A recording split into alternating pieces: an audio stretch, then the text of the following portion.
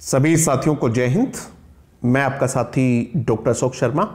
एक बार फिर से आप सब लोगों के साथ। आज की इस क्लास में हम प्रेपोजिशन टॉपिक का रिवीजन करेंगे। टॉपिक मैंने आप लोगों को पढ़ा दिया है। लगभग 10 से 15 क्लास हमने प्रेपोजिशन टॉपिक की की है। आज उन सभी क्लासेस का सार किस प्रकार से आप इतनी सारी क्लासेस को कम समय में याद रख पाएँगे?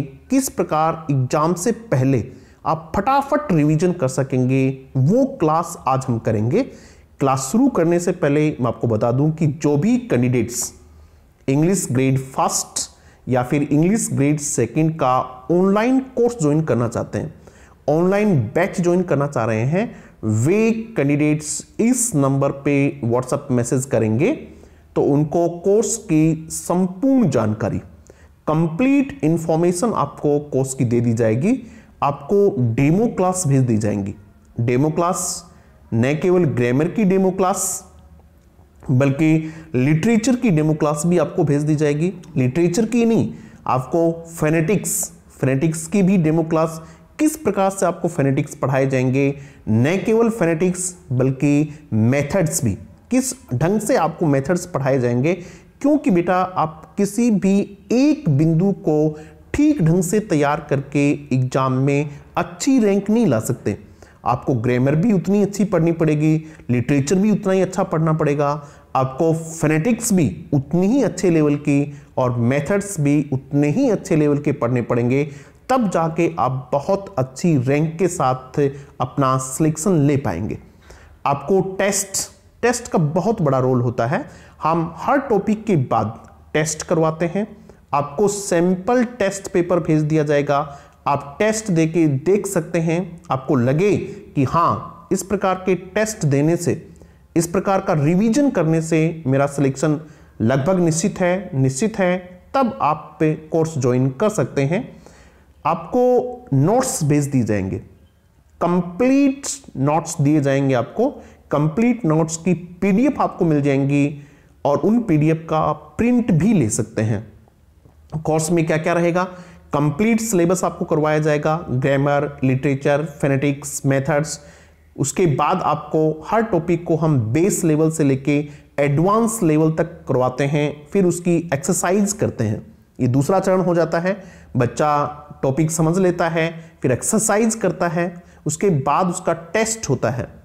टेस्ट के बाद उसका वीडियो सोल्यूशन भी होता है और इस प्रकार से चार स्तरीय तैयारी हम करवाते हैं और बच्चा बहुत अच्छे ढंग से टॉपिक को समझ लेता है। और अब आज की क्लास शुरू करते हैं। आज की क्लास में हम प्रेपोजिशन टॉपिक को फटाफट आप रिवाइज कैसे करेंगे? देखते हैं। प्रेपोजिशन को किस ढंग से पढ़ा जाना चाहिए? पहले तो ये देख लो। प्रेपोजिशन को तीन भागों में पढ़ा जाना चाहिए।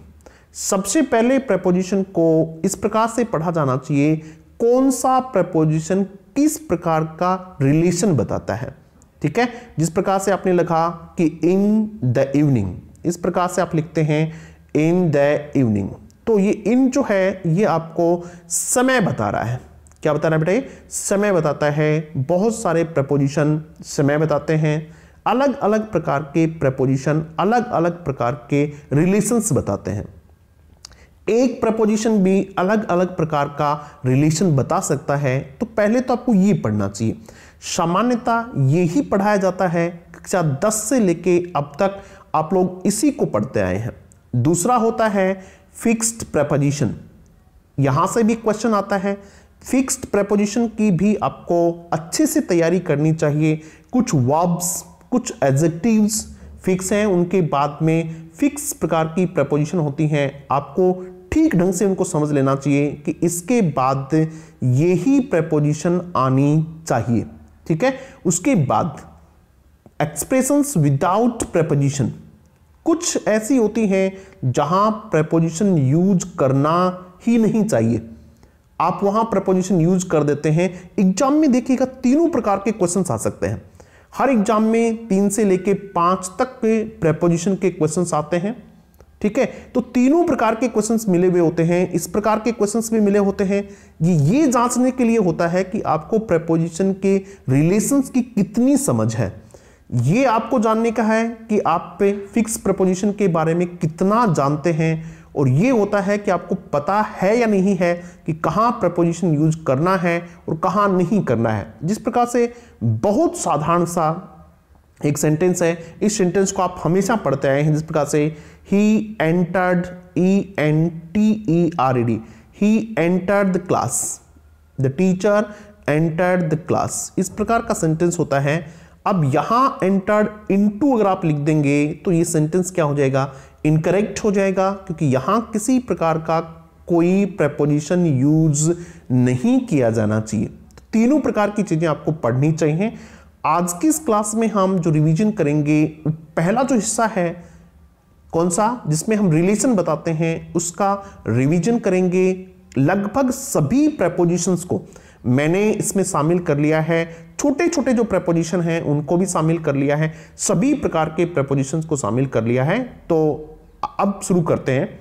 जिस प्रकार से पहला है, आपको कैसे समझना इसको देखिएगा। रिवीजन कैसे करना है? पहला जो पॉइंट लिखा है, मैंने वो लिखा है एट सेवन पीएम, ये लिखा हुआ है। ये आपको बता देगा, जब भी आप सिर्फ़ इतना देखेंगे तो आपको बता देंगे कि पॉइंट ऑफ़ टाइम के लिए एट का प्रयोग किया जाता है। ठीक है? जिस प्रकार से आप लिख सकते हैं I get up at six A M मैं कितनी बजे उठता हूँ? सिक्स ए एम तो आप क्या लिखेंगे? एट लिखेंगे। ठीक है? We go to school at ten o'clock क्या करेंगे हम? एट टेन ओ क्लॉक तो ये पढ़ा हुआ तो आपका है ही, लेकिन इससे सिर्फ़ आपका क्या हो जाएगा? रिवीजन हो जाएगा। एट सेवन पी समझते ही आप समझ जाएँगे कि इसमें निश्चित समय वाली सारी बातें हमें इस एक बिंदु से याद आ जानी चाहिए। आ जाएँगे, उसके बाद देखिएगा।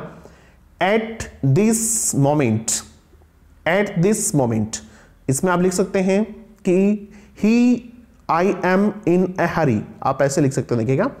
I am in a hurry H U double R Y I am in a hurry at this moment इस समय। ये भी पॉइंट ऑफ़ टाइम है। At this moment M O M E N T हमने वे सभी एग्ज़ाम्पल शामिल करने की कोशिश की है, जो थोड़े से हटके हैं। जिस प्रकार से आपने एट सेवन पी एम पढ़ा तो इस प्रकार के एग्ज़ाम्पल भी एग्ज़ाम में आ सकते हैं। तो इनके साथ हमने ये भी ले लिए हैं। ठीक है? I am in a hurry at this moment at this moment हो सकता था। तो आपके दिमाग में वह ये भी आ जानी चाहिए एट दैट मोमेंट भी हो सकता था। क्या हो सकता था? एट दैट मोमेंट भी हो सकता था। एट दैट मोमेंट ठीक है?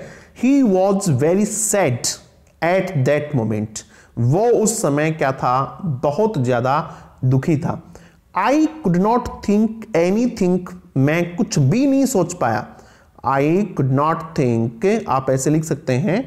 I could not think anything मैं कुछ नहीं सोच पाया। कब? एट दैट मोमेंट उस समय मेरे दिमाग में कोई बात नहीं आई। क्या लिखेंगे आप लोग? एट दैट मोमेंट लिखेंगे। समझ में आ गया अभी? At this moment at that moment इस प्रकार से आप, उसके बाद देखिएगा एट मिड नाइट देखिएगा, ये समझने की बात है, मैंने आपको समझाया था कि कहाँ एट का प्रयोग किया जाना चाहिए और कहाँ इन का प्रयोग किया जाना चाहिए। रिवीजन करेंगे आप फटाफट। आपको पता है नून से पहले किसका प्रयोग करेंगे आप? पे एट का प्रयोग करेंगे एट नून मिडनाइट देखते ही आपके दिमाग में वो सारी चीज़ें आ जानी चाहिए। एट नून है एट नाइट है at night at midnight at midnight midnight, at dawn at dawn, d a w ठीक है? भौर होती है। सुबह सुबह का समय होता है उसको एट डाउन कर ये सारी बातें आपको याद रखनी चाहिए। सिर्फ़ एक बिंदु से आपको याद आ जाना चाहिए। कौन से से? एट मिडनाइट से ही आपको फटाफट याद आ जाना चाहिए। एट मिडनाइट ठीक है? At noon at noon they वो प्रेजेंट देयर एट नून वे वहाँ उपस्थित थे कब? दोपहर में। एट नून ठीक है? I take rest I take rest मैं आराम करता हूँ एट नून कब? At noon this is not to be done at midnight ये इस आधी रात को करने का समय नहीं है। आप लिखेंगे this is not to be done this is not to be done midnight आपको आगे दे दिया तो आप क्या लिखेंगे? मिडनाइट से पहले आप लिखेंगे एट मिडनाइट नाइट दे दिया तो क्या लिखेंगे आप पे? एट नाइट लिखेंगे, ठीक है? नून दे दिया तो आप क्या लिखेंगे? एट नून लिखेंगे, ठीक है? उसके बाद देखिएगा। इसी के साथ मैंने आपको बताया था कि इवनिंग है मॉर्निंग है। अगर ऐसा आ जाए तो अगर मानो आपसे क्वेश्चन आ गया कि dash dash dash the evening E V E N I N G the evening तब क्या करेंगे? आई प्ले क्रिकेट इस प्रकार से क्वेश्चन आपसे पूछे जाएँगे। I play cricket I play cricket in the evening ऐसी स्थिति में आप क्या लिखेंगे? इन द इवनिंग लिखेंगे। क्या नहीं लिखेंगे? एट नहीं लिखेंगे। क्या लिखेंगे बेटा? इन लिखेंगे। समझ में आ रही चीज़ें? आगे देखिएगा। At the end of the class fix point के लिए। At the end of the class कब? क्लास के अंत में। At the end of the class we went there हम वहाँ चली गए। ठीक है? At the end of the class at the end of the session at the end of the class की जगह क्या लिख सकते हैं? At the end of the session session के अंत में. At the end of the programme programme के अंत में. The organiser thanked all organiser ने सबको क्या किया? धन्यवाद दिया. एट दुर्गा पूजा. अब इस एक पॉइंट से आपको याद आ जाना चाहिए कि at Diwali at Holi at Dussehra at Durga at Durga Puja ठीक है? एट इस प्रकार के एक बिंदु से रिवीजन का मतलब यह है कि एक बिंदु से आपको इससे रिलेटेड सारी बातें याद आ जानी चाहिए। ठीक है? कि फेस्टिवल से पहले किसका प्रयोग करते हैं? एट का प्रयोग करते हैं। और यहाँ हमने एक पॉइंट लिखा है एट दुर्गा पूजा। तो आपको बाकी सभी बिंदु भी याद आ जाने चाहिए। ऑन मंडे पूरा सेंटेंस नहीं लिखा है। क्योंकि आपको पहले से पता है कि दिन और दिनांक से पहले किसका प्रयोग करते हैं? ऑन का प्रयोग करते हैं, ठीक है? तो आप ऑन मंडे लिख सकते हैं, ठीक है? अब ज़रूरी नहीं है कि आपसे मंडे ही पूछा जाए। क्या किया जाए आपसे? मंडे ही पूछा जाए। मंडे के अलावा कोई भी दिन और दिनांक पूछा जाए तो आप क्या लिख देंगे? ऑन लिख देंगे। आपको अपवाद भी याद रखना चाहिए। कब नहीं लिखेंगे? तब मैंने आपको बताया था कि यदि इससे पहले आपको नेक्स्ट याद है पॉइंट नेक्स्ट मिल जाए लास्ट मिल जाए दिस मिल जाए दैट मिल जाए, ये मैंने बताया था कि समय सूचक शब्द यदि आपको मिलते हैं, इनके साथ, समय के साथ, जिस प्रकार से नेक्स्ट मंडे नेक्स्ट मंडे और आपसे पूछा कि इससे पहले प्रपोजिशन लगाओ सेंटेंस है he will come here next Monday आपसे प्रपोजिशन भरवाया था he will come here next Monday तो यहाँ कोई प्रपोजिशन नहीं आना चाहिए, जबकि he will come here Monday next नहीं है और सिर्फ़ क्या है मंडे है, तब आप क्या लिखेंगे? ऑन मंडे ठीक है? आपको यह भी पता होना चाहिए कि मंडे तक की बात है, तब आप क्या लिखेंगे? बाई मंडे लिखेंगे। इस एक बिंदु से आपको सारी बिंदु याद आ जाने चाहिए कि सर ने हमें क्या क्या पढ़ाया था, हमने क्या क्या पढ़ा था उस एक से याद आ जाने चाहिए। On second October Gandhi was born on second October on second October देखते ही आपको याद आना जाने, क्या बात याद आनी चाहिए? कि दिनांक से पहले, डेट से पहले किसका प्रयोग करना है आपको? ऑन का प्रयोग करना है। किसका प्रयोग करना बेटा? ऑन का प्रयोग करना है। चाहे वो सेकेंड अक्टूबर हो, चाहे वो फ़र्स्ट मई हो, चाहे फोर्टीन ऑफ़ नवंबर हो, सबके लिए किसका? ऑन का प्रयोग करना चाहिए। आगे देखिएगा। एक एक बिंदु, जितने भी प्रपोजिशन हैं शब्द के सभी प्रकार के प्रयोग आज की क्लास में हम आपको करवा देंगे। इन अ वीक एक सप्ताह में दो सप्ताह में, चार सप्ताह में, पाँच सप्ताह में, दस दिन में, बीस दिन में, एक महीने में, दो महीने में, ऐसा रिलेशन बताने के लिए किसका प्रयोग करते हैं? इनका प्रयोग करते हैं ठीक है? In a week we will complete this project in a week ठीक है? In four hours you have to complete this in four hours चार घंटे में आपको पूरा करना है, लेकिन इनके साथ हमने आपको एक डिफरेंस बताया था। बताया था, याद होगा आप लोगों को, कि प्रेपोजिशंस में जब आपको पढ़ने हैं तो वहाँ आपको डिफरेंस पढ़ना बहुत ज़रूरी है। कौन कौन से प्रेपोजिशन में क्या डिफरेंस है? जब आप दो टॉपिक एक तो कौन सा? डिटर्मिनस जब आप डिटर्मिनस पढ़ें, तब आपको डिफरेंस करना बहुत ज़रूरी है। आपको पता होना चाहिए कि लिटल और फ्यू में क्या डिफरेंस है। ठीक ढंग से पता होना चाहिए। दूसरा, जब आप प्रपोजिशंस पढ़ रहे हैं, तब आपको डिफरेंस करना बहुत ज़रूरी है कि इन और विद इन में क्या डिफरेंस है। किसमें बेटा? इन और विद इन में। ठीक है? इन फोर आवर्स ये भी ठीक है। चार घंटे में इन फोर आवर्स ठीक है?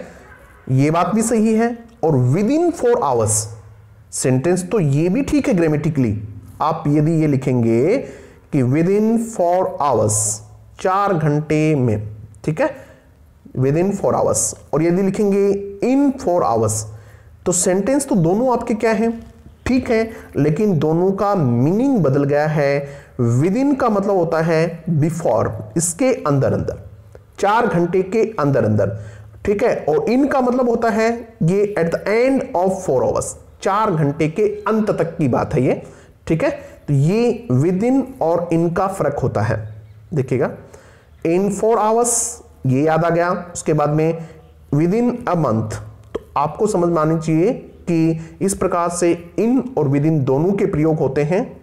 उसके बाद में बाई सिक्स पी एम यहाँ हमने लिखा एट सेवन पी एम या एट सिक्स पी एम एक ही बात ही थी। यहाँ हमने क्या लिखा? By seven P M by seven P M का मतलब होता है छ बजे तक। कब तक भाई? छ बजे तक, ठीक है? नॉट आफ्टर दैट उसके बाद नहीं। छह बजे तक का मामला है। नॉट आफ्टर दैट उसके बाद नहीं।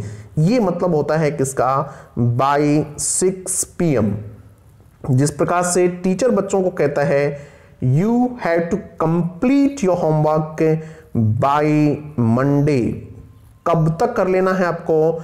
अपना होमवर्क पूरा कर लेना है। कब तक? मंडे तक कर लेना है। नॉट आफ्टर दैट उसके बाद नहीं। समझ में आ गया? बाई का मतलब ये होता है। You must deposit your fee by Sunday by Saturday by Monday जो भी आप कहना चाहें, तब तक। तो बाई का मतलब ये होता है। You must get back by six o'clock आपको छह बजे तक वापस आ जाना है। ठीक है? तो बाई का अर्थ कैसे है? समझ में आ गए आप लोग? आगे देखिएगा। उसके बाद next by tomorrow evening.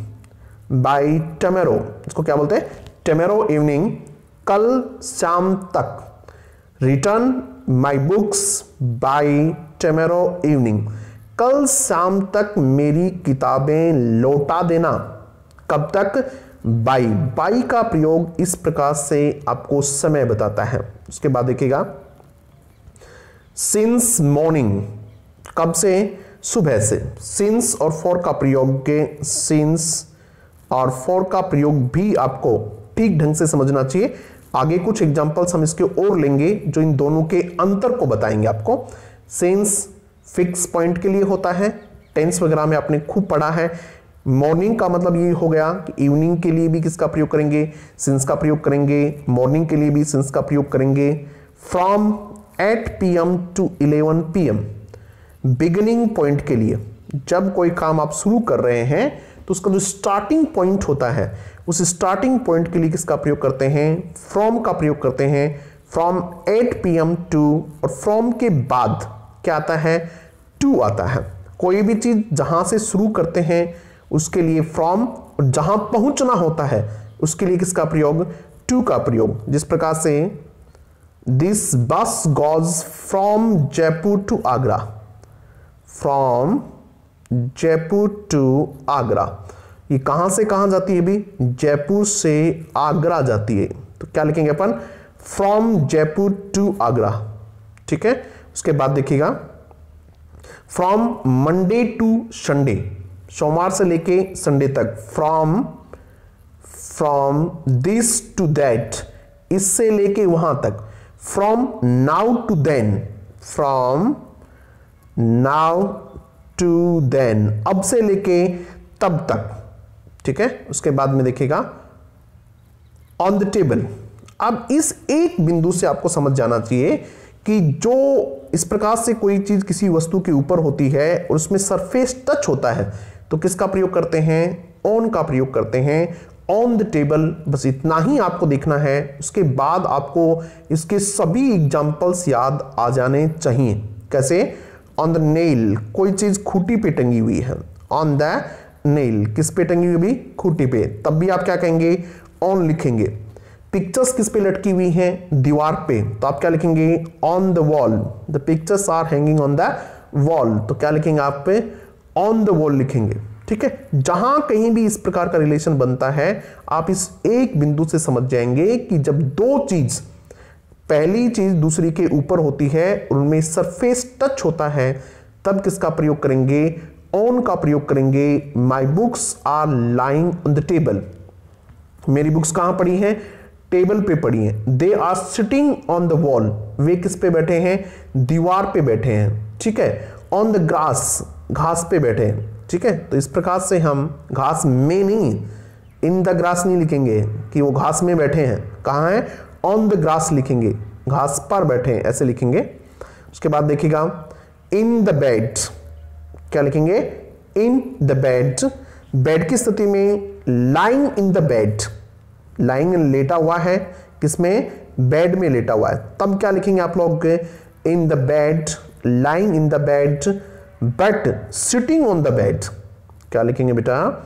But sitting on the bed ध्यान दीजिएगा लाइंग इन द बेड लेटा हुआ है, सो रहा है, ऐसी स्थिति में क्या लिखेंगे? इन लिखेंगे और बैठा है सिटिंग ऑन द बेड इस प्रकार से लिखेंगे। इन और ऑन द चेयर दोनों सही है ऑन द चेयर ठीक है? जब चेयर के पास आर्म्स नहीं है, यानी हत्थे वाली चेयर नहीं है, ऐसी स्थिति में आप ऑन द चेयर कहेंगे, तब भी कोई दिक्कत नहीं है। और आर्म चेयर जो होती है, कौन सी चेयर बेटा? आर्म चेयर की जब अपन बात करते हैं, ऐसी स्थिति में किसका प्रयोग करेंगे? इन द चेयर का प्रयोग करेंगे। किसका? इन द चेयर उसके बाद देखिएगा behind the curtains behind the curtains कोई चीज़ जब किसी चीज़ के पीछे होती है एट द बैक ऑफ़ इसका अर्थ होता है at the back of B A C के एट द बैक ऑफ़ ठीक है? Behind the curtain she is hiding behind the curtain वह पर्दे के पीछे छुपी हुई है। He is standing behind me वो मेरे पीछे खड़ा है।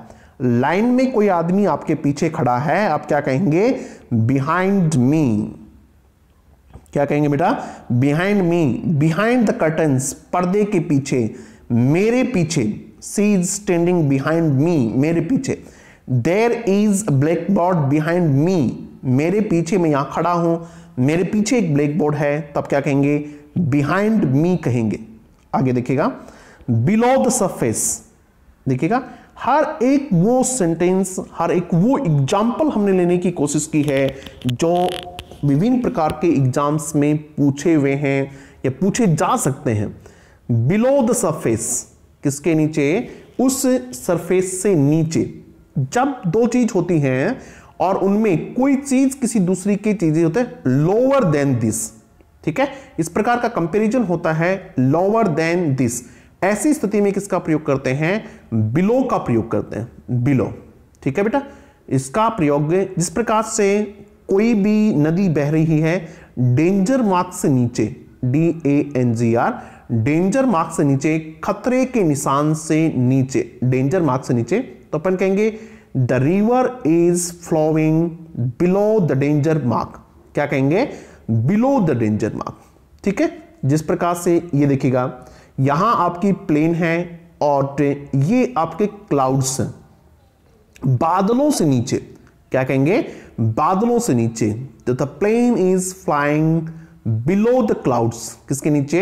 इन बादलों से। जब इस प्रकार का कंपैरिजन होता है, तभी बिलो का प्रयोग किया जाता है। ठीक है? जिस प्रकार से there is cut mark below the neck मतलब sorry eye.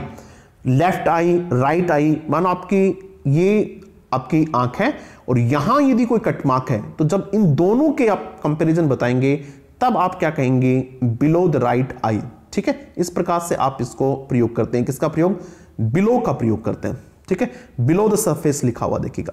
ठीक है? इस एक बिंदु से ये जो भी बच्चा इसकी पीडीएफ चाहेगा, वो पीडीएफ जो मैंने आपको ऊपर व्हाट्सअप नंबर बताए हैं, आप उस नंबर पे मैसेज करेंगे तो इसकी पीडीएफ भी मैं आपको भेज दूँगा, ताकि एग्ज़ाम से पहले आप फटाफट इनको रिवाइज कर लीजिएगा। Below the surface. ठीक है? ये बिलो द सरफेस होता है, यानी बिलो का प्रयोग होता है, ये बिलो का प्रयोग होता है। ठीक है? ये अबाव का क्या होता है? ऑपोजिट होता है। उसके बाद देखिएगा। बिसाइड द वॉल इस एक वर्ड से आपको याद आ जाना चाहिए कि बिसाइड का मतलब होता है के पास में। बिसाइड का मतलब होता है near N E A R near beside का मतलब होता है बाई द साइड ऑफ़ क्या होता है? बाई द साइड ऑफ़ किसी चीज़ के नज़दीक। He was standing beside the wall वो दीवार के पास खड़ा था, ठीक है? यदि दीवार के पीछे खड़ा था, तब क्या लिखेंगे? He was standing behind the wall यदि वो दीवार के ऊपर बैठा है तो he is sitting on the wall ठीक है? इस प्रकार से आप रिलेशन समझते हुए प्रपोजिशन को तैयार करेंगे बिसाइड बिसाइड का मतलब होता है पास में. She is sitting beside her parents she is sitting beside her parents she is sitting beside her parents B E S I D beside her parents क्या मतलब हो जाएगा इसका? कहाँ बैठी है वो? अपने पेरेंट्स के पास बिसाइड बिसाइड का मतलब होता है बाई द साइड ऑफ़ नज़दीक किसी चीज़ के बीच उसके बाद देखिएगा। अंडर द टेबल टेबल के नीचे, जब कोई चीज़ वर्टिकली किसी चीज़ के नीचे होती है, तब उसके लिए अपन क्या कहते हैं? अंडर द टेबल कहते हैं अपन। ठीक है? अंडर द टेबल कई बार इसका प्रयोग कब होता है? जब सरफेस टच होते हैं, तब भी किसका प्रयोग करते हैं? अंडर का प्रयोग करते हैं, जिस प्रकार से अंडर द पिलो ठीक है? क्या है? तकिए के नीचे। तो क्या कहेंगे अपन? अंडर द पिलो कहेंगे। ठीक है? अंडर के और बहुत सारे प्रयोग होते हैं। वो भी हमने एक एक एग्जांपल आगे लिया हुआ है। अंडर द टेबल टेबल के नीचे. Under the tree under the tree under the tree अब इस एक फ्रेज से, कौन सी से? अंडर द ट्री से आपको अंडर का प्रयोग समझ आ जाना चाहिए कि वर्टिकली कोई चीज़ किसी के नीचे होती है, तब हम किसका प्रयोग करते हैं?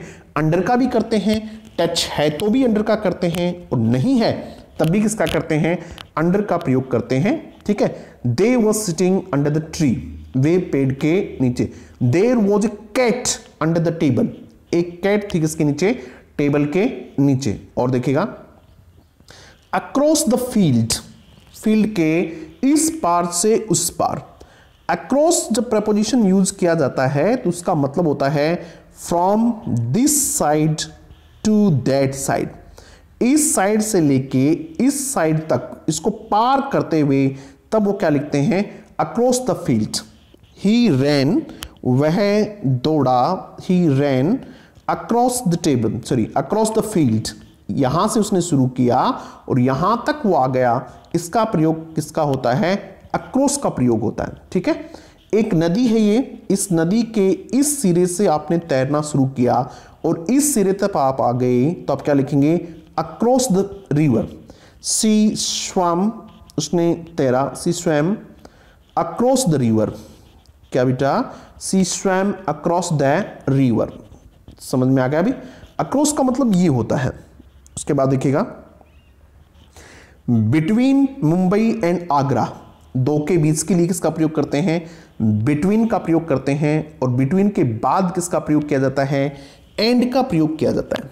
कोई भी दो के लिए अगर आपको संबंध बता रहे हैं तो आपको किसका प्रयोग करना है? बिटवीन का प्रयोग करना है distribute these pens between Ramesh and Pooja between Ramesh and Pooja कौन कौन? रमेश और पूजा के बीच में। दो का प्रयोग करते हैं। बिटवीन दिस एंड दैट ठीक है?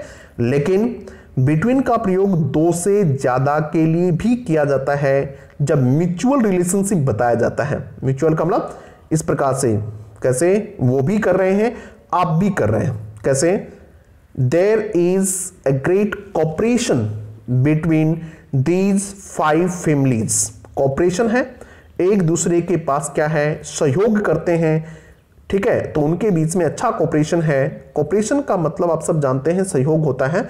इसमें कोई चीज़ बढ़ती नहीं है। ये म्यूचुअल रिलेशनशिप है। आप उनका सहयोग कर रहे हैं, वो आपका सहयोग कर रहे हैं। ये पाँच फैमिलीज़ हैं। पाँचों के बीच में कॉपरेशन है। तब आप क्या कहेंगे क्या कहेंगे भी? आप बिटवीन कहेंगे किसके लिए भी? पाँच के लिए भी। ये बात मैंने आप लोगों को जब बिटवीन और अमंग पढ़ाया था, तब बहुत अच्छे से समझा दिया था। ठीक है? देर इज़ एन अंडरस्टैंडिंग एक समझ है बिटवीन दीज फाइव ब्रदर्स इन पाँचों भाइयों के बीच में एक अच्छी समझ है। ठीक है? समझ में आ रहा है ना चीज़ें? तो कोई एग्रीमेंट करते हैं अपन किन के बीच में? बहुत सारे लोगों के बीच में भी जब एग्रीमेंट होता है, तब किसका प्रयोग होता है? बिटवीन का प्रयोग होता है। अलायंस होता है कोई कोई गठबंधन होता है इन लोगों के बीच में, तब उसके लिए भी दो पाँच के लिए भी किसका प्रयोग करते हैं? बिटवीन का प्रयोग करते हैं। ये बिटवीन पढ़ाते समय आपको बहुत अच्छे से क्लियर मैंने करवाया था। उसके बाद देखिएगा। अबाउ द हिल्स ये हमने थोड़ी देर पहले बताया था कि ये किससे ऊपर?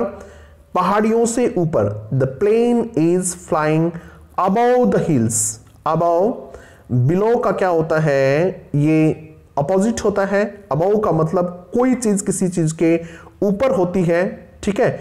और वो रिलेशन बताती है. इस प्रकार का कंपैरिजन होता है, जिस प्रकार से अबाउ और बिलो ठीक है? हमने आपको बताया था कि इस आँख के नीचे तब आपने क्या लिखा था? बिलो द राइट आईज अब आप कहेंगे अबव मानो आँख के ऊपर है तो क्या कहेंगे? Above the right there is a cut mark एक चोट का निशान है। कहा? अबव माई राइट आई मेरी राइट आई के ऊपर। हमने आपको समझाया था कि नदी खतरे के निशान से नीचे बह रही है। तब आप क्या लिखेंगे? Below the danger mark below B E below the danger mark. जब नदी खतरे के निशान से ऊपर बह रही है, तब आप क्या लिखेंगे? Above the danger mark above the danger mark तो ये किसका प्रयोग होता है आपका? अबाव और बिलो का। वैसे ऊपर जो कोई चीज़ होती है और टच नहीं करती है, उस सेंस में अबाव और ओवर दोनों का प्रयोग किया जा सकता है। जब हम ओवर और अबाव का प्रयोग पढ़ रहे थे तब भी हमने इसको डिटेल से समझा था। अब इसका रिवीजन कर रहे हैं कि जब कोई चीज़ ऊपर होती है टच नहीं होती है, ऐसी स्थिति में अबाव और ओवर दोनों का प्रयोग किया जा सकता है। लेकिन जब इस प्रकार से कंपैरिजन हो, आँख के ऊपर, आँख के नीचे, पहाड़ी से ऊपर, पहाड़ी से नीचे, ऐसी स्थिति में अबाव और बिलो का प्रयोग किया जाता है। आगे देखिएगा। ओवर द फायर प्लेस ठीक है फायर प्लेस से ऊपर, जब कोई टच ठीक है, ऊपर कोई वस्तु टच नहीं होती है, ठीक है ओवर आवर हेड हमारे सिर के ऊपर ओवर ठीक है, ऐसी स्थिति में हम किसका प्रयोग करते हैं? ओवर का प्रयोग करते हैं। जिस प्रकार से ये आपकी नदी है, इस नदी के ऊपर ये आपका ब्रिज है तो आप क्या कहेंगे? There is a bridge over the river किसके ऊपर? नदी के ऊपर। आप क्या लिखेंगे? ओवर लिखेंगे। The beautiful stars are shining over us हमारे ऊपर। तो किसका प्रयोग करेंगे? ओवर का प्रयोग करेंगे हम। उसके बाद देखिएगा। अलोंग द बॉर्डर इस प्रकार से। किस प्रकार से? यहाँ कोई चीज़ इस, ये आपका बॉर्डर है और इस बॉर्डर के साथ इस प्रकार से कोई चीज़ है, तब आप किसका प्रयोग करेंगे? आप अलोंग का प्रयोग करेंगे और लिखेंगे अलोंग द बॉर्डर बॉर्डर के सहारे सहारे, ठीक है? अलोंग द रोड ये आपकी रोड है, इसके सारे they are walking along the road way road के यहाँ सारे there are trees there are many trees या फिर there is row of trees पेड़ों की पंक्ति है अलोंग द रोड किसके सहारे? इस रोड के सहारे, ठीक है? Along the bank of the river नदी के किनारे के सहारे सहारे अलोंग द सी सोर देखिएगा, इन्हीं में से कोई क्वेश्चन आपसे पूछ लेंगे। अलोंग द सी सोर सी सॉर किसके? समुद्र के किनारे के यूँ पास पास यहाँ, ठीक है? तो ये आपका अलोंग का प्रयोग था। अमंग द बसेस झाड़ियों के बीच में, ज़्यादा झाड़ियाँ हैं, इसलिए किसके? अमंग द बसेस यानी दो से ज़्यादा के लिए किसका? अमंग का प्रयोग करते हैं towards the site of accident की तरफ़। टुवार्ड का मतलब क्या होता है? की तरफ़ क्या आपको डायरेक्शन बताता है। की तरफ़, ठीक है? Towards me he was coming towards me he is coming towards me. He is coming. He is coming towards me. He is coming towards me. वो मेरी तरफ़ आ रहा है, ठीक है? He is coming towards me. चलो अभी आगे देखते हैं. Jumped into the wheel जब आपको मोशन या मूवमेंट बताना होता है, तब आप किसका प्रयोग करते हैं? इनटू का प्रयोग करते हैं. किसका प्रयोग करते हैं? इनटू का. देखिए, बाहर से कुएँ के अंदर, ठीक है? तो he jumped into the well क्या लिखेंगे आप? He jumped into the well ठीक है? He came into the class he came into the class वो कहाँ आए? क्लास में आए। ठीक है? Translate these sentences into English एक सिचुएशन से दूसरी सिचुएशन में। एक पोजीशन से दूसरी पोजीशन में। Translate these words into English in sentences को, इन वर्ड्स को किसमें ट्रांसलेट कर दो? इंग्लिश में ट्रांसलेट कर दो। दिस टर्न्स इनटू कोई चीज़ किसी दूसरी चीज़ में बदल जाती है उस स्थिति में अपन क्या लिखते हैं? Turns into water turns into vapour पानी किसमें बदल जाता है? भाप में बदल जाता है।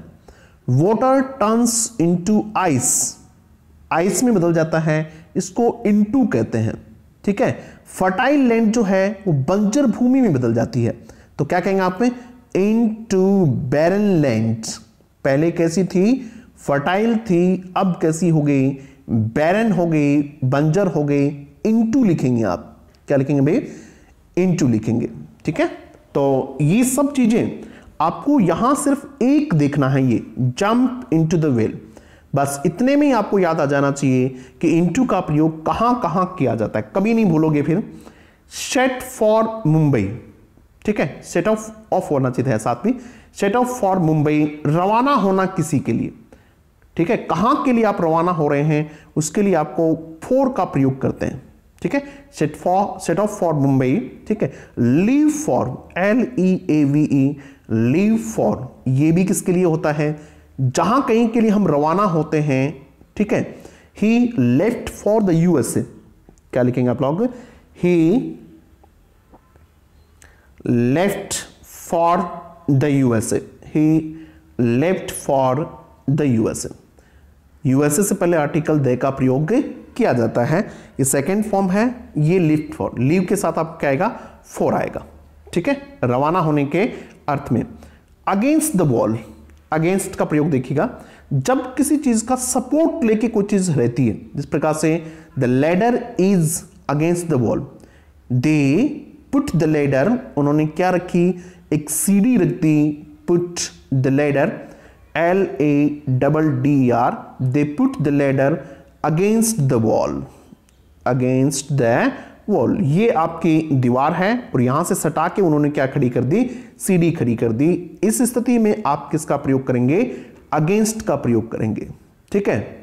उसके बाद देखिएगा, कोई आदमी किसी का सहारा लेके है, बैठा है तो against the chair against the wall वहाँ भी किसका प्रयोग करते हैं? अगेंस्ट का प्रयोग करते हैं। किसी के खिलाफ आपको कुछ कहना है, तब भी किसका प्रयोग करते हैं? अगेंस्ट का प्रयोग करते हैं। फोर का ऑपोजिट होता है ये।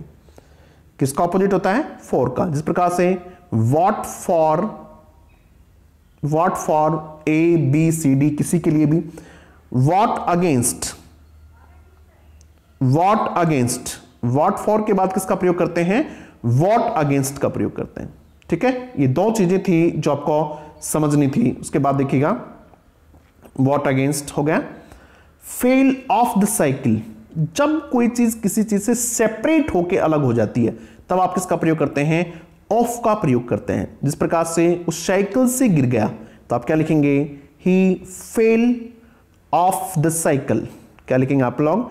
He fell off the cycle लिखेंगे। साइकिल से गिर जाना। He fell off the cycle सीढ़ी से गिर गया कोई आदमी तो क्या लिखेंगे आप लोग? He fell off the ladder he fell off the ladder वो सीढ़ी से गिर गया। किसका प्रयोग करेंगे? ऑफ़ का प्रयोग करेंगे। ठीक है? कोई चीज़, जिस प्रकार से ये टेबल है आपकी, इस टेबल से कोई चौक, ठीक है? या फिर क्या है? बॉल है। ये बॉल है यहाँ से फिसलती फिसलती हुई नीचे आ गई। तो क्या लिखेंगे? द बॉल रोल्ड ऑफ़ क्या लिखेंगे? द बॉल रोल्ड ऑफ़ लिखेंगे इससे। ठीक है? बस वगैरह से आप उतर रहे हैं। तो भी आप क्या लिखेंगे? Get off the bus get off the train get off the bus तो वहाँ भी किसका प्रयोग करेंगे? ऑफ़ का प्रयोग करेंगे। आगे देखिएगा। अबाउट टू गो बस ये काम होने ही वाला है। I am about to go मैं जाने ही वाला हूँ।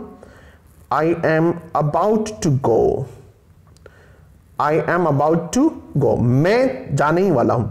He is about to come वो आने ही वाला है। अबाउट टू ठीक है? अबाउट मतलब काम बस होने ही वाला है उसके लिए अबाउट का प्रयोग करते हैं। अबाउट का प्रयोग एक और करते हैं, के बारे में, ठीक है? के बारे में, ठीक है? He told us about his personal life he told us about his personal life उसने हमें अपनी पर्सनल लाइफ के बारे में बताया तो अबाउट हिज पर्सनल लाइफ ठीक है? उसके बाद देखिएगा ran after the robbers after का प्रयोग देखिएगा। एक आप सब जानते हैं आफ्टर का मतलब बाद में होता है। After nine o'clock nobody is allowed to enter the campus after nine o'clock नौ बजे के बाद किसी की एंट्री अलाउ नहीं है। Nobody is allowed to enter the campus after nine o'clock ठीक है? किसके बाद भाई? नौ बजे के बाद। आफ्टर दिस इसके बाद आफ्टर दैट उसके बाद। लेकिन, एक आफ्टर का प्रयोग और होता है किसी चीज़ के पीछे दौड़ने के अर्थ में। किसका प्रयोग करते हैं? आफ्टर का जिस प्रकार से the police ran after the robbers इस प्रकार से हो सकता है ये। द पुलिस पुलिस नहीं कहेंगे भाई कोई भी इसको। The police ran after the robbers after the robbers R O double B E R S the police ran after the robbers तो क्या लिखेंगे आप इसमें? आफ्टर का प्रयोग करेंगे। समझ में आ रही हैं चीज़ें? चलो, आगे बढ़ते हैं। द कैट ठीक है? The boys are running after the girls the boys are running after the girls या फिर they are running after money किसके पीछे भाग रहे हैं? They are running after money R U double N I N G they are running after money आप बहुत सारे लोगों को देखते होंगे, पैसे के पीछे दौड़ते रहते हैं। तो ऐसी स्थिति में जब आपको अंग्रेज़ी में कहना होगा, तब क्या कहेंगे? This my uncle is running after money don't have time for family relations इन चीज़ों के लिए इसके पास टाइम नहीं है। किसका प्रयोग करेंगे? आफ्टर का प्रयोग करेंगे। देखिएगा। एक्टिंग अगेंस्ट माई ऑर्डर ये मेरे आदेश के खिलाफ है।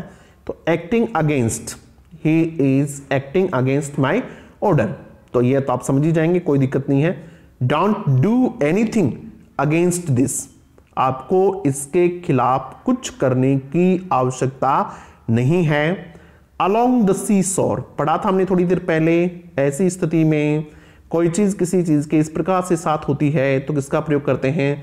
अलोंग का प्रयोग करते हैं। अलोंग द सी सॉर आगे देखिएगा। At the top of the class at का प्रयोग करेंगे। क्लास के टॉप पे। At the bottom at the bottom bottom के लिए भी किसका प्रयोग? नीचे नीचे है, तब भी किसका प्रयोग? एट का प्रयोग। ऊपरी ऊपर है, तब भी किसके लिए? एट का प्रयोग। ठीक है।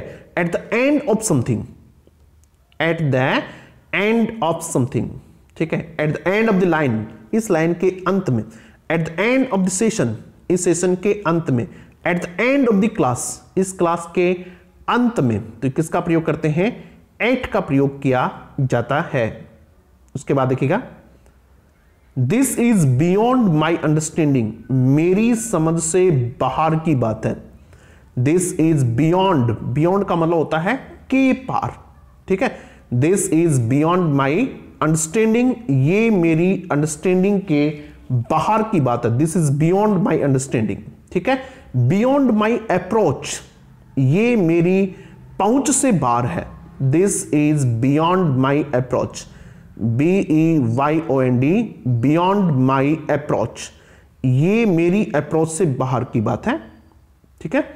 Sit by the fireplace हमने एक सेंटेंस लिखा था। सिट बाई के पास। बाई का प्रयोग क्या है यहाँ? के पास। उसके बाद आप बाई और जानते ही हैं। बाई हिम, बाई हर, ठीक है? It is nine o'clock by my watch क्या लिखेंगे? अकॉर्डिंग टू माई वॉच ये नहीं लिखेंगे कि नौ बजे हैं मेरी घड़ी में। ऐसा नहीं लिखेंगे इन माई वॉच कोई नहीं लिखेगा ऐसा। क्या लिखेंगे? It is nine o'clock it is nine o'clock by my watch मेरी घड़ी में, ठीक है? किसी आदमी को उसके अपीरेंस से नहीं पहचानना, ठीक है? डोंट जज anybody by his cloth उसके कपड़ों से किसी आदमी को जज मत करो। किसी आदमी को क्या नहीं करना? किसी आदमी के कपड़ों से उसको जज नहीं करना, उसके अपियरेंस से जज नहीं करना। कोई आदमी कैसा दिख रहा है, इस बात से बिल्कुल जज नहीं करना। यानी अकॉर्डिंग टू के अर्थ में, किसके अर्थ में बेटा? अकॉर्डिंग टू के अर्थ में भी बाई का प्रयोग किया जाता है। आगे देखिएगा। फ्रॉम माई कज़न सोर्स के लिए कौन सी चीज़ आप कहाँ से प्राप्त करते हो? कोई चीज़ आपको कहाँ से मिली है? इस अर्थ में आप किसका प्रयोग करते हैं? फ्रॉम का प्रयोग करते हैं। I got it I got it from my parents from my parents ये मुझे कहाँ से मिली? अपने पेरेंट्स से मिली। I got it from my parents ठीक है? I got it from from का प्रयोग और भी हमने आपको पढ़ाया था। याद है? फ्रॉम और ऑफ़ का डिफरेंस कोई चीज़ किसी चीज़ से बनती है, यदि उसके इंग्रेडिएंट्स चेंज हो जाते हैं। जैसे wine is wine is made from grapes made from grapes शराब किससे बनती है? ग्रेप्स से। तो ग्रेप्स बिल्कुल चेंज हो गए। ये इंग्रेडिएंट्स है। ये बिल्कुल चेंज हो गए। ऑफ़ का प्रयोग भी होता है जिस प्रकार से। Table is made of wood table is made of wood ये भी टेबल बनी हुई किसकी? लकड़ी की। लकड़ी लकड़ी है। इसलिए ऑफ़ आएगा, ठीक है? ये हमने डिटेल से आपको करवा दिया था, ये रिवीजन अभी चल रहा है। उसके बाद देखिएगा from my cousin died of the heart attack rogue के लिए ऑफ़ का प्रयोग करते हैं। बताया था आपको ऑफ़ का प्रयोग के डाई के साथ इन एक्सीडेंट में कोई आदमी मर गया डाइड इन एक्सीडेंट पढ़ा था आप लोगों ने भी, ठीक है? उसके बाद में, देश के लिए कोई आदमी शहीद होगा died for he died for his country अपने देश के लिए मर गया। अपने देश के लिए शहीद हो गया। अपने देश के लिए बलिदान कर दिया। किसका प्रयोग करेंगे? फॉर का प्रयोग करेंगे। ध्यान रखना है इस बात को। Suffer from. कोई आदमी किसी चीज़ से सफ़र कर रहा है। He is suffering from fever किससे बेटा? He is suffering from fever तो हम किसका प्रयोग करेंगे? फ्रॉम का प्रयोग करेंगे। अब देखो ये बिंदु देखते ही आपको याद आ जाना चाहिए कि सर ने हमें डाई के साथ कौन कौन से बताए थे। ए मैन ऑफ़ इसको ऑफ़ नहीं ओ बोलेंगे। Man of noble character of का बताया था हमने। ये किस प्रकार के खानदान से आता है, इसके लिए आप किसका प्रयोग करेंगे? Of a man of humble origin बिल्कुल सीधे से परिवार से आता है। Man of humble origin man of noble character man of word man of word का मतलब होता है वादे का पक्का। तब आप किसका प्रयोग करते हैं? ऑफ़ का प्रयोग करते हैं। ओ बोलेंगे इसको। मैन ऑफ़ नोबल कैरेक्टर अच्छे कैरेक्टर का आदमी है, अच्छी आदतों का आदमी है, अच्छे खानदान का आदमी है। ऐसी स्थिति में आप क्या कहेंगे? ऑफ़ का प्रयोग करेंगे। He comes of an aristocratic family बहुत कुलीन परिवार से आता है। तब भी आप क्या लिखेंगे? ही कम्स ऑफ़ लिखेंगे फ्रॉम नहीं लिखेंगे। He comes of a noble family वह एक नॉबल अच्छे परिवार से आता है तो कम्स फ्रॉम नहीं लिखेंगे। क्या लिखेंगे बेटा? कम्स ऑफ़ लिखेंगे। उसके बाद देखिएगा। An essay on the food on about के अर्थ में ऑन का प्रयोग करते हैं। अबाउट यानी के बारे में। अबाउट के अर्थ में किसका प्रयोग करते हैं? ऑन एक निबंध लिखिएगा किस पे? On the food problem of India Bharat में खाने की समस्या पे। खाने की तो समस्या नहीं है भारत में। करप्शन की बड़ी भारी समस्या है। तो write an essay on corruption ठीक है? हम किस पे बात कर रहे हैं? प्रेपोजिशन पे। तो we are talking on preposition हम प्रेपोजिशन पे बात कर रहे हैं। ऑन यानी अबाउट के बारे में। किस पे बात कर रहे हैं? तो हम यहाँ भी किसका प्रयोग करते हैं? ऑन का प्रयोग करते हैं। उसके बाद देखिएगा थ्रू द विंडो खिड़की से होकर, इस प्रकार से कोई चीज़ आपके है, यहाँ से आपने देखा खिड़की से होके। आपने यहाँ से फेंकी कोई चीज़, किससे? थ्रू द विंडो एक चोर है, वो इससे घुस गया। द थीप ठीक है केम थ्रू द विंडो किधर से आया भी वो? केम थ्रू द विंडो आपने विंडो से बाहर उसको देखा। ही सा मी थ्रू द विंडो आपने मुझे क्या लिखेंगे आप? थ्रू लिखेंगे इसमें। ठीक है? यहाँ ग्लास होता, ये देखिए शीशा है, शीशे के आर पार आपने देखा, तब भी क्या लिखेंगे? थ्रू द ग्लास समझ आ रहा है ना? ये थ्रू होता है। उसके बाद देखिएगा विद हिज ऑल फैमिली साथ के अर्थ में। कोई आदमी किसी के साथ है तो उसके लिए भी किसका प्रयोग करते हैं? विद का प्रयोग करते हैं। ठीक है? विद हिज फैमिली ठीक है? एक नाइफ के लिए भी। देखो, मैं अक्सर कहता था पहले कि विद वाइफ विद और एक विद नाइफ ऐसे भी आप याद कर सकते हैं with knife K N I F E knife यानी कोई चीज़ आप चाकू हाथ में लेके पकड़ रहे हैं, ठीक है? इंस्ट्रूमेंट के रूप में, जिस प्रकार से किसी ने आम काटा, सब्ज़ी काटी किससे? चाकू से। तो आप क्या लिखेंगे? With knife he sliced a mango with knife लिखेंगे। चाकू के साथ। और वाइफ के साथ हैं, तब भी क्या लिखेंगे? विद वाइफ तो विद वाइफ और विद नाइफ ये विद के दो यूज़ आप याद कर सकते हैं। उसके बाद देखिएगा। विद एंथुजियाजम पूरे जोश के साथ। I did it with enthusiasm मैंने पूरे जोश के साथ ये काम किया। क्या लिखेंगे आप पे? विद जॉय खुशी के साथ। किसके साथ भाई? With joy a girl with blue eyes एक लड़की किसके साथ? ब्लू आईज वाली लड़की, नीली आँखों वाली लड़की के लिए आप क्या कहेंगे? ठीक है, जिस प्रकार से कहें कि मैंने एक लड़की देखी कल जिसकी आँखें नीली थी तो आप क्या कहेंगे? I saw a girl with blue eyes मैंने एक लंबे बालों वाला लड़का देखा तो with a boy with long hair a boy with long hair आप ऐसे कहेंगे गर्ल विद ब्लू आईज कहेंगे राइट इन पेंशन ठीक है? विद पेन विद देखिएगा विद पेन पेन के लिए क्या लिखेंगे? विद लिखेंगे with pen in ink ink के लिए क्या लिखेंगे? In ink in pencil P E N C I L in pencil छोटी छोटी बातें हैं, आपको ध्यान रखनी है। ये सारी चीज़ें आपको एक ही क्लास में बताने का मकसद ये है कि आप अपने हिसाब से इन चीज़ों को पढ़ चुके हैं। अच्छे से पढ़ चुके डिटेल में। अब आपको सिर्फ़ रिवीजन चाहिए, जो कि एक क्लास में बहुत अच्छे ढंग से हो सकता है। उसके बाद देखिएगा।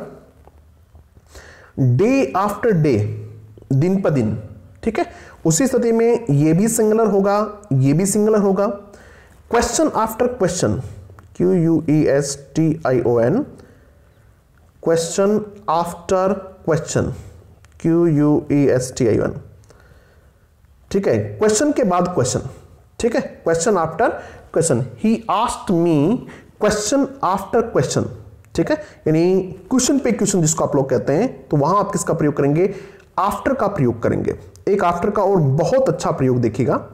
Name of the school after my grandfather's name किसी स्कूल का नाम है, किसके नाम पे?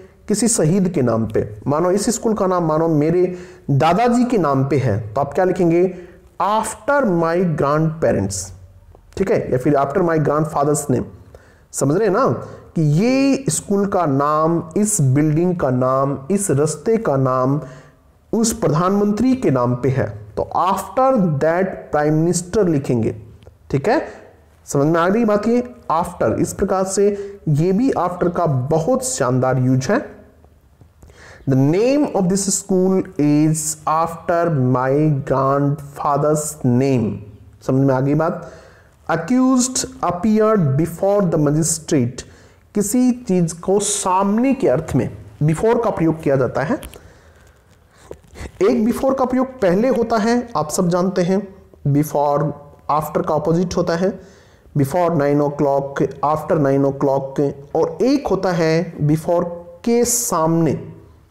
He was presented before the police उसको पुलिस के सामने प्रस्तुत किया गया बिफोर द पुलिस किसके सामने भी? पुलिस के सामने. बिफोर द मजिस्ट्रेट मजिस्ट्रेट के सामने. एग्ज़ाम्पल देखिए क्या लिखा हमने. अक्यूज आरोपित को, जो आरोपी था अपियर्ड वो प्रकट हुआ बिफोर द मजिस्ट्रेट। किसके सामने? मजिस्ट्रेट के सामने। Don't talk like this before me. मेरे सामने इस प्रकार की बातें नहीं करेंगे। Along with her husband. अपने हस्बैंड के साथ। विद और अलोंग विद दोनों एक तरीके से यूज़ होते हैं, कोई दिक्कत नहीं। About to begin. काम शुरू होने वाला है। ये हमने पहले भी किया है आज की क्लास में। This is about to begin ये शुरू होने वाला है। Curd is made from milk देखो, हमने आपको बताया था कि फ्रॉम का एक अर्थ होता है जहाँ कोई चीज़ किसी से बनती है, लेकिन उसके इंग्रेडिएंट्स जिस सामान से मिलके वो बनती है, वो चेंज हो जाते हैं। ऐसी स्थिति में क्या करते हैं? फ्रॉम का प्रयोग करते हैं। Curd is made from milk ठीक है कार्ड किससे बनता है? मिल्क से बनता है। एक सेंटेंस मैंने आपको और बताया था wine is made from grapes bread is made from wheat क्या सेंटेंस है?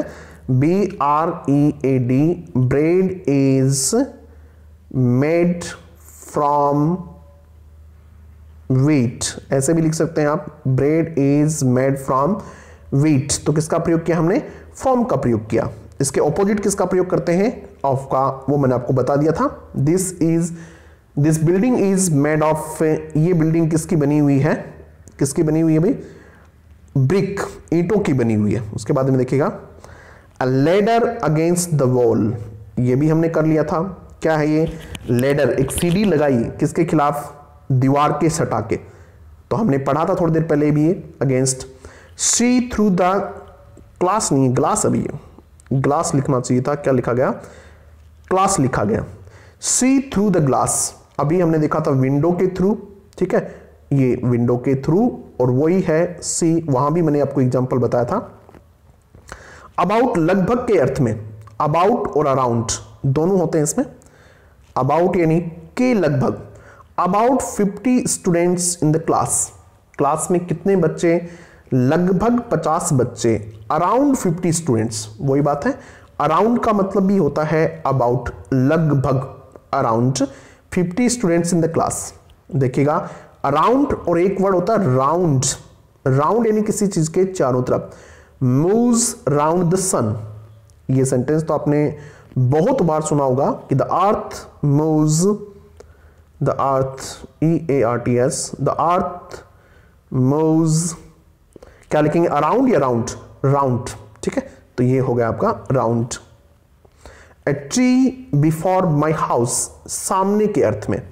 थोड़ी देर पहले हमने लिखा था कि the accused was accused appear before the magistrate same वो ही। सेंटेंस है a tree before my house there is banyan tree before my house मेरे घर के सामने एक बरगद का पेज है। हाउस मेड ऑफ़ ब्रेक्स ठीक है? ये घर किसका बना हुआ है? ब्रिक्स नहीं ब्रिक होना चाहिए था। अनकाउंटेबल नाउन होता है।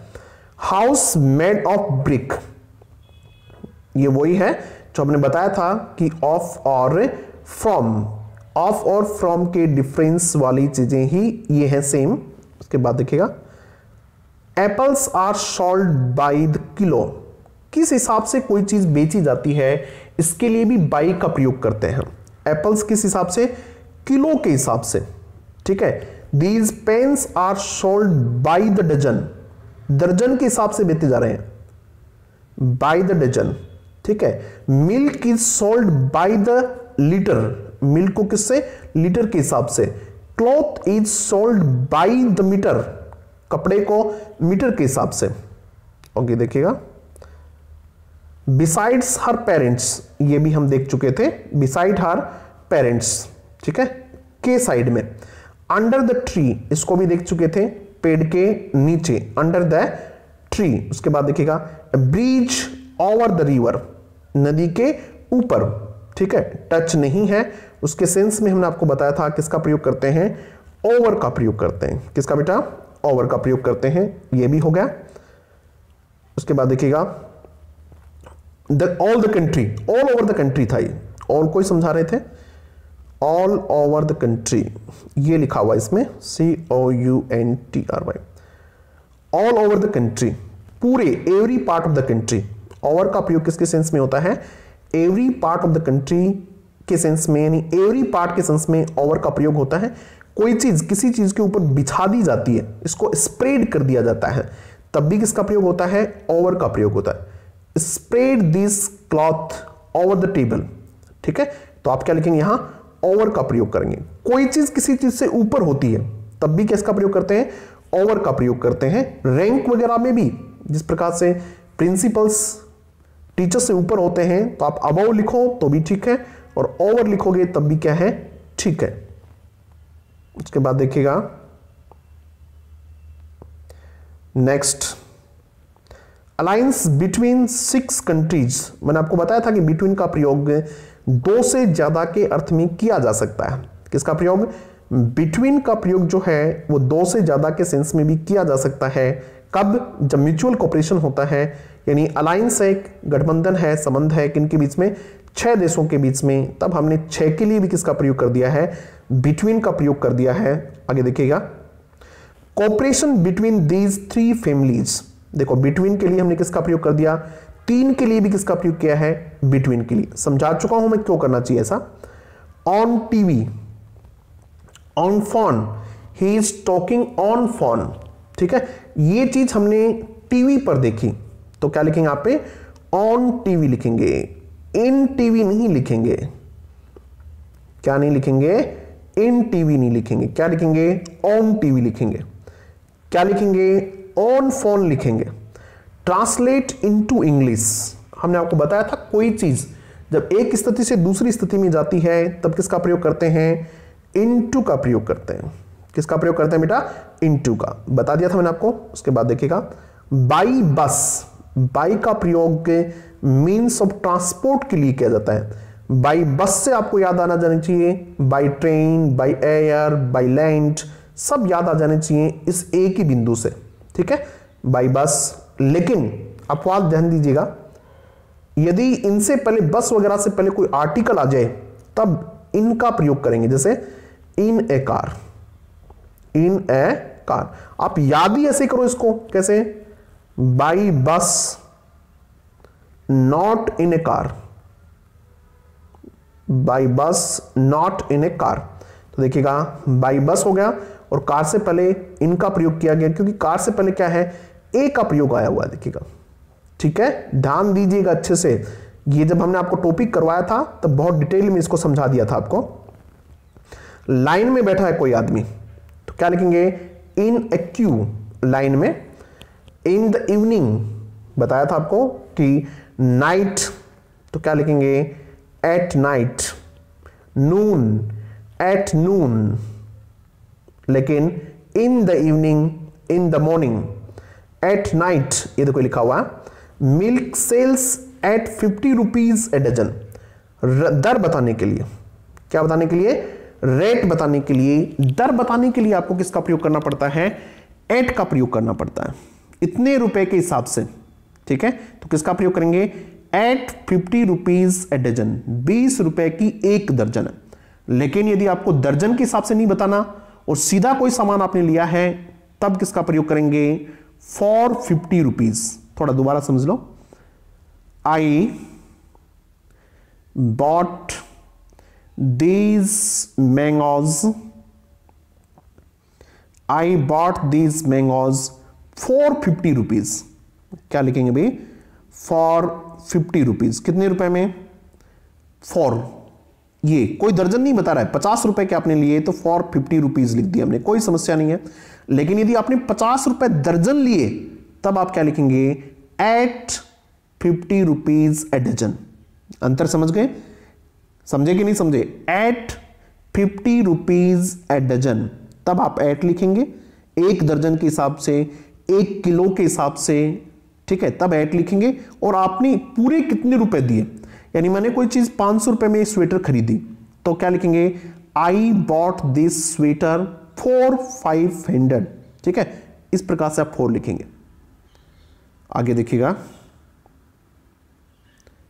अम्ब्रेला ओवर हिज हेड बहुत अच्छा एग्ज़ाम्पल था, मैंने आपको ले लिया। There is no umbrella over his head touch थोड़ी ना होता है, नहीं होता है। नो रूफ अबव और ओवर हिज हेड दोनों प्रयोग ठीक होते हैं। उसके सर पे कोई छत नहीं है। There are so many in the world who do not have roof over their head संसार में बहुत सारे लोग हैं जिनके छत पे, जिनके सर पे क्या नहीं है, छत नहीं है। ओवर हीज हेड लिखेंगे तब भी ठीक है अबव हिज हेड लिखेंगे तब भी ठीक है। A child is walking behind his mother एक बच्चा अपनी माँ के पीछे पीछे जा रहा है, तब क्या लिखेंगे? Behind his mother run behind आपने अभी सेंटेंस पढ़े थे?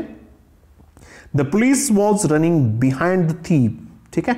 अबव मी इन रैंक मैंने आपको बताया था कि कोई आदमी किसी में रैंक में ऊपर होता है, तब आप क्या कहेंगे? अबाव मेरे से ऊँची रैंक पे है। तो अबाव मी इन रैंक ठीक है? कोई भी हो सकता है द प्रिंसिपल हो सकता है टीचर हो सकता है, और किसी विभाग में हो सकते हैं, तब क्या लिखेंगे? अबाउ लिखेंगे। The house is under repair ये हाउस क्या है? अंडर रिपेयर एग्ज़ाम में पूछा हुआ अभी। हाउस क्या चल रहा है? रिपेयर में।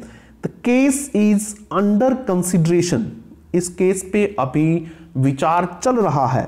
ये घर अभी रिपेयर पे है। The road is under repair ऐसा एग्ज़ाम में पूछा जाता है। दिस रोड या फिर the road the road is under repair the road is under repair ये रोड अंडर रिपेयर ठीक है? ये केस अंडर कंसिडरेशन है। उसके बाद देखिएगा। The leaves are falling from the tree ये पत्तियाँ कहाँ से गिर रही हैं? पेड़ से गिर रही हैं। यहाँ आप फॉलिंग ऑफ़ भी लिख सकते हैं। क्या लिख सकते हैं? ऑफ़ भी लिख सकते हैं। कोई समस्या नहीं है। दोनों ठीक है। उसके बाद she is rather tall for her age ये फॉर का एक अच्छा प्रयोग है। ठीक है। वो अपनी एज से ज़्यादा लंबी है। ठीक है। फॉर हिज एज लिखेंगे इसमें। ठीक है। फ्रॉम हर एज नहीं लिखेंगे। फॉर हर एज यानी जितनी उसकी एज में लंबाई होनी चाहिए थी, उससे ज़्यादा लंबी है। तो क्या लिखेंगे? He is he is clever C E C L E V she is he is clever then he is then का मतलब फॉर फॉर किस से? फॉर देन के स्थान पे ही प्रयोग हुआ है ये फॉर का?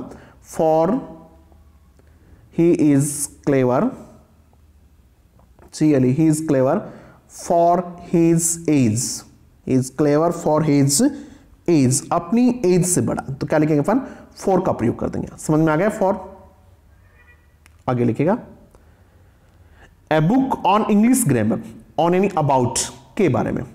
This is a book about English grammar plane is flying above the clouds ये हम देख चुके थे कंपैरिजन के दो में क्लाउड से ऊपर। ठीक है? तो किसका प्रयोग करेंगे? अबाउ का। Treaty between five great between का प्रयोग दो से ज़्यादा के अर्थ में कैसे होता है, वो समझाया हुआ है। देर आर फिफ्टी मर्डर्स कितने हैं?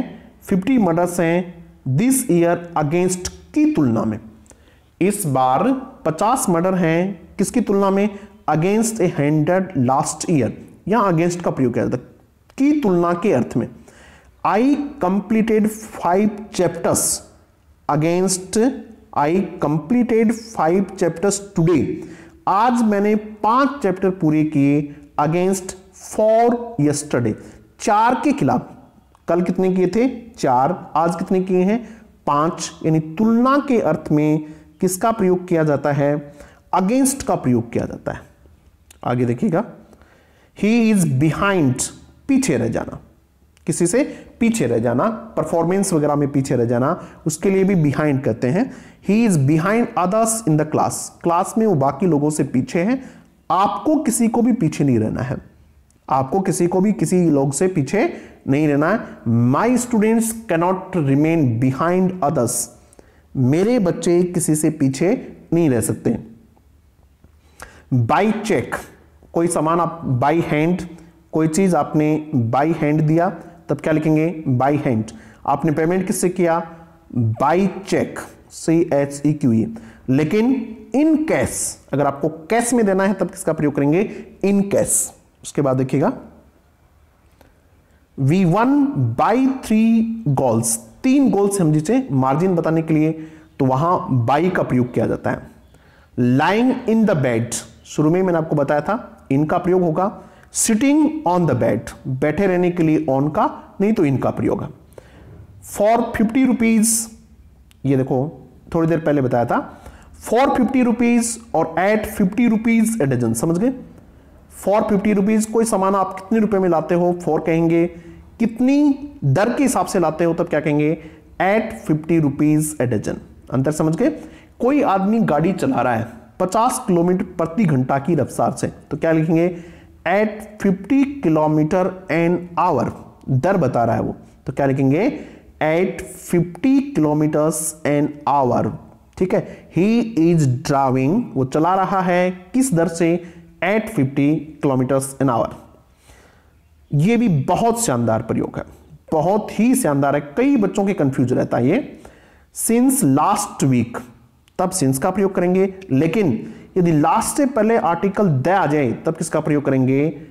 फॉर द लास्ट वीक ध्यान दीजिएगा, यदि आपके पास सिर्फ़ लास्ट वीक है, कई बच्चे पूछते हैं कि सर लास्ट से पहले क्या आएगा? सिंस आएगा या फोर आएगा? तो सुन लो बेटा। सिंस आएगा, तब इससे पहले आर्टिकल द नहीं है तब, और यदि इससे पहले आर्टिकल द है, तब क्या आएगा? फोर आएगा। मैंने एग्ज़ाम्पल भी लिखे हैं यहाँ। I have been ill since last week देखिएगा। I have been ill for the last week since last week और फॉर द लास्ट वीक आगे देखिएगा। He is off duty now अब वो ड्यूटी पे नहीं है on duty off duty it is quarter to nine यानी क्वार्टर टू नाइन टाइम बताने के लिए करते हैं वो। Quarter to nine a boy with long hair लंबे वालों वाला। गर्ल विद ब्लू आईज एक लड़की ब्लू आईज वाली। तो इस प्रकार से आज की इस क्लास में हमने प्रेपोजिशन का रिवीजन करने की कोशिश की। लगभग सभी अच्छे एग्जाम्पल्स हमने लिए, सभी प्रेपोजिशन को कंप्लीट किया। यदि आपको ठीक लगा हो तो अपने साथियों के साथ ज़रूर से ज़रूर साझा कर दीजिएगा। Thank you thank you very much